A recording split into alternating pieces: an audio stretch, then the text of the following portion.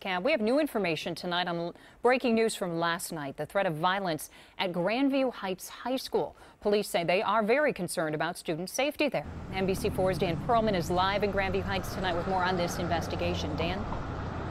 Well, you know, this is something which is a neighborhood concerned. It is Grandview Heights High School here, very concerned as well. Now, police tell us last night they responded to a home on Burr Avenue looking into a sophomore's threatening social media post. They questioned the teen. The bomb squad was there, but they released him back to his parents. The investigation, however, continued. And today, investigators tell me this young man made some very serious threats against specific students. Now, the nature of those threats out here is unknown. And officer did tell me off camera that there is no physical hit list, so to speak, that is floating around, but police, the school district, everyone is taking this very, very seriously. And from what I hear, there could be an arrest in this case really at any moment. For now, we are live in Grandview Heights. Dan Perlman.